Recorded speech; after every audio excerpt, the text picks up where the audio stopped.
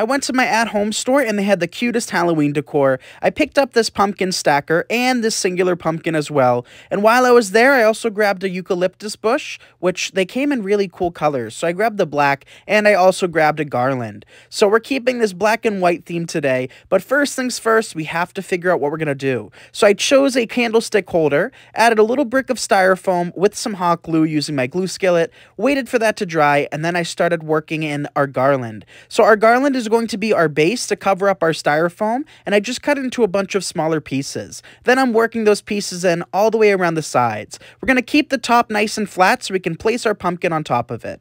Now I'm breaking apart the eucalyptus into individual pieces, and I'll poke these around the sides of the styrofoam as well for some added texture. And here is what the pumpkin stacker looks like during the day, but it's even more cute at night. So here it is with the lights turned on. Thank you so much for watching, and be sure to like and follow for more crafty ideas.